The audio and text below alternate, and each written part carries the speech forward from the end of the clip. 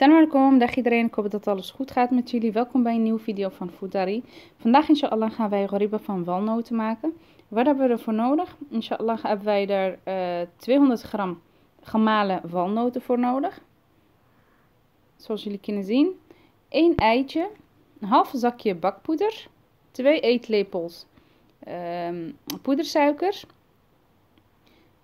een kwart theelepel kaneelpoeder en een snufje zout, zoals altijd bij alle zoetigheden.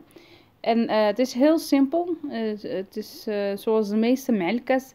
Wij doen onze ingrediënten in een, in een kom.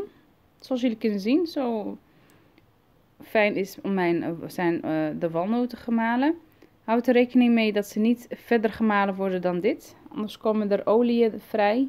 En dan zal het heel moeilijk zijn om je agariba te bewerken. En dan voegen we onze suiker en kaneel aan toe.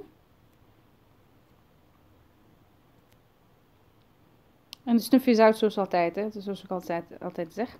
En een halve zakje bakpoeder. Dus de helft van, ik heb hier een zakje van 15, dus de helft, ongeveer 7 gram, 8 gram. Dat zal goed zijn.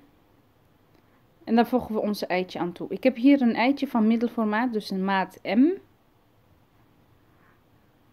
Mocht het een S zijn, dus van die, van die kleine eitjes, houd er rekening mee dat je er zeker ongeveer een halve eitje aan moet toevoegen. Want het is de bedoeling dat onze melka, dus onze gariba, heel, heel nattig is, heel plakkerig. Houd er rekening mee, dat moet altijd, onze gariba moet altijd plakkerig zijn. Zodat ze, mm, dus als ze gebakken zijn, dat ze, dat ze, nog, dat ze mm, nog lekker smeuig zijn verbinden. Dat het geen harde koekje wordt. Dus dat is heel belangrijk. Het moet plakkerig zijn, dat is de bedoeling.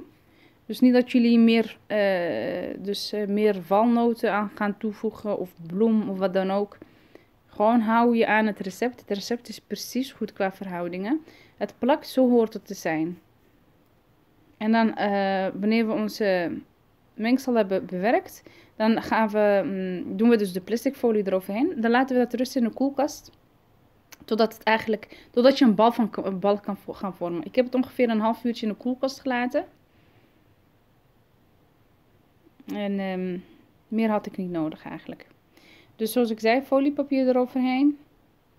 En laten rusten in de koelkast. Heel belangrijk, laten rusten. Want ik had dat bij de vorige melka, de vorige gariba, vorige, de, vorige koekje van, uh, van de amandelen. Kreeg ik een vraag over waarom het zo plakt. En en of dat wel juist was. En er was meer meel aan toegevoegd. Dat is niet de bedoeling.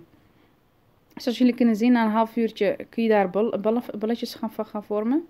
Maar het is nog zacht. Je kan er balletjes van gaan vormen, maar het is nog zacht. En dat is de bedoeling. Dan hebben we onze poedersuiker die we gezeefd hebben.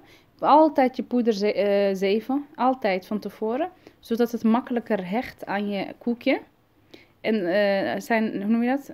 De, dus de, dan is het wat fijner van structuur, want meestal zitten dan van die, uh, noem je dat, lompjes in, klomp, uh, lompjes, of je, je dat noemt. En dan gaat het niet hechten aan je koekje. Dus zoals je ziet, het is heel makkelijk te hechten, want we hebben het gezeefd. En dan is het kwestie van gewoon uh, in een grote kom, als je een grote kom hebt, of um, van bak, of wat, maakt niks uit waar, waar je gewoon je suiker in kan doen en de koekjes in kan doen. Gewoon draaien, blijven draaien, draaien, draaien, zo je kan zien al het suiker blijft hechten aan je koekje. Dan hoef je het niet eens meer te, te bewerken met je hand. En dan pak je gewoon je koekjes en dan zet je ze op de bakplaat. Dit recept heb ik 12 koekjes uitgekregen. 12, uh, 12 koekjes. Dus, uh, en dan uh, voor de versiering gebruiken we ook weer een halve walnoot. Maar jullie zullen dat zo zien. En ik gebruik, maar dat is niet, dat hoeft niet. Maar ik gebruik er eiwit. Dus ik domper een beetje in eiwit, die walnootje. En dan zet ik, op het koek, zet ik die op het koekje. Gewoon um, omdat ik zeker wil zijn dat het aan het koekje blijft zitten. Maar het hoeft niet. En dan pakken we onze walnoten en uh, zoals ik zei, dompelt in eiwit. Maar dat hoeft niet. Maar heel lichtjes, niet te veel. En dan zetten we dat op ons koekje en we drukken er een beetje op, zoals jullie kunnen zien. En we bakken ze op uh, een vol verwarmde oven van 180 graden warm je oven goed op. Dus 15, zeker, zeker, zeker minimaal 15 minuten uh, uh, je oven warm laten maken, laten worden.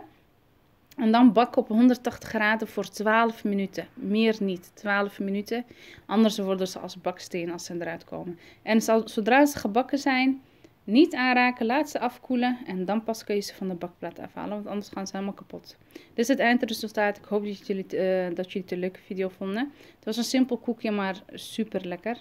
En ik zou zeggen, deel de video met de dierbaren en vrienden. En ik zou zeggen, tot de volgende video, inshallah. Dan kom ik weer met wat nieuws. En een fijne dag verder. Lion, kom op